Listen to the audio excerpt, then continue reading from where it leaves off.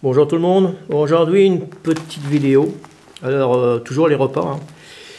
euh, de la marque Treknit. Donc là c'est un bœuf chasseur.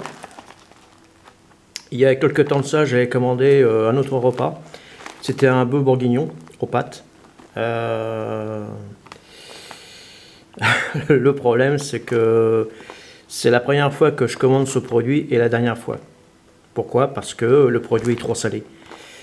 Vaut mieux à la rigueur qu'il ne soit pas du tout salé, qu'on rajoute un petit peu de sel dans le repas, et puis euh, tout ira pour le mieux.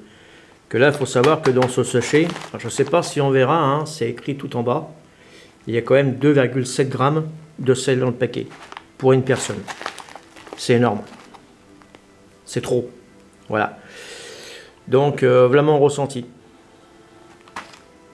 Donc, je vous dis à bientôt pour un prochain repas puis un avis dessus.